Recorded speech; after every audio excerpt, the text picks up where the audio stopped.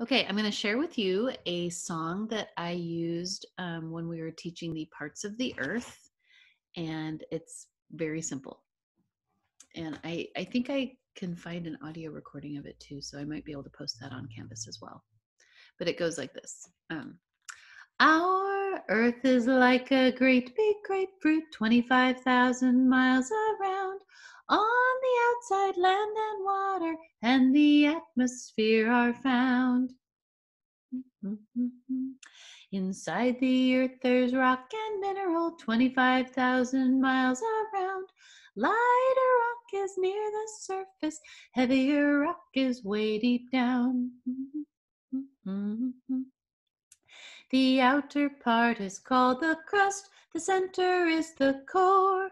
From core to crust, the earth is just a lot of rock and ore. Our earth is like a great big grapefruit, 25,000 miles around.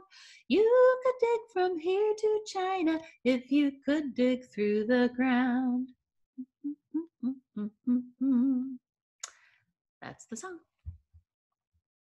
We would sing it a few times, of course, but that's basically it.